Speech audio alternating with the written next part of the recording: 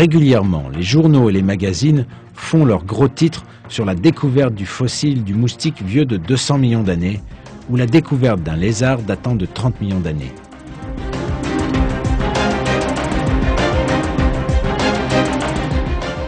Les lecteurs de tels articles peuvent penser qu'il s'agit là de découvertes exceptionnelles, que de tels fossiles ne sont découverts que rarement. Mais la vérité est tout autre.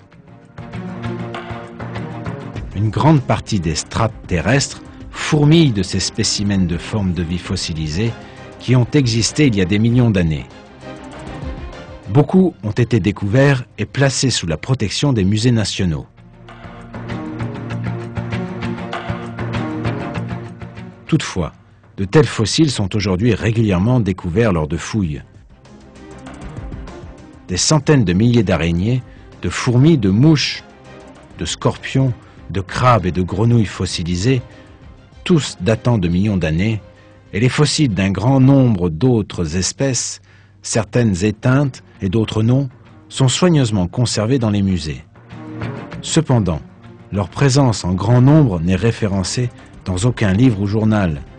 Les journaux scientifiques, les forums et les groupes de discussion ne s'y réfèrent jamais.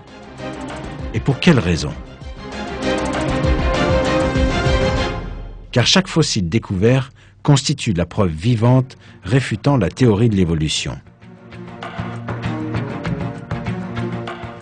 Chaque spécimen fossile trouvé en dit suffisamment pour réduire à néant cette théorie à laquelle les darwinistes ont consacré leur vie.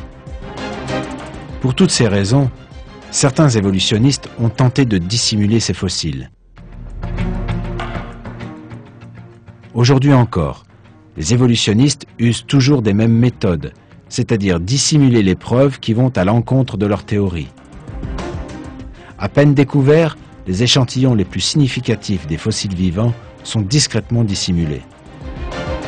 Si tous les fossiles cachés dans les entrepôts des musées étaient accessibles à tous, la vérité éclaterait alors au grand jour.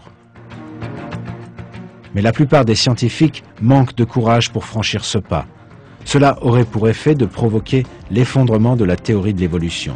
Mais toute théorie qui doit dissimuler les preuves scientifiques en sa défaveur et qui cherche à établir sa véracité par la fraude et le mensonge est définitivement vouée à sa perte.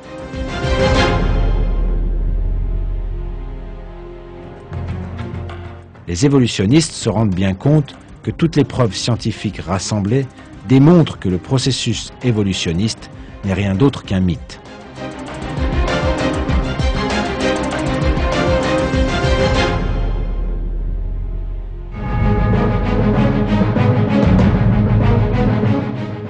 Fossiles vivants, ainsi que toutes les autres espèces vivant actuellement, sont l'œuvre de Dieu, Seigneur et Créateur de l'univers, qui les a créés il y a des millions d'années et les a préservés sous leur forme parfaite jusqu'à nos jours.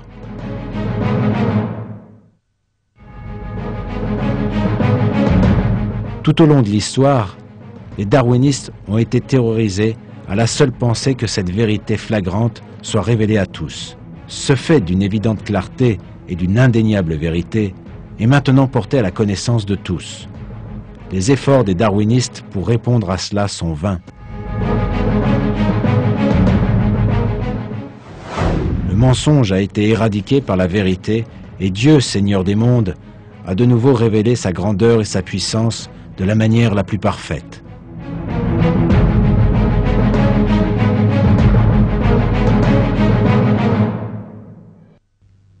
Ce n'est pas par jeu que nous avons créé le ciel et la terre et ce qui est entre eux.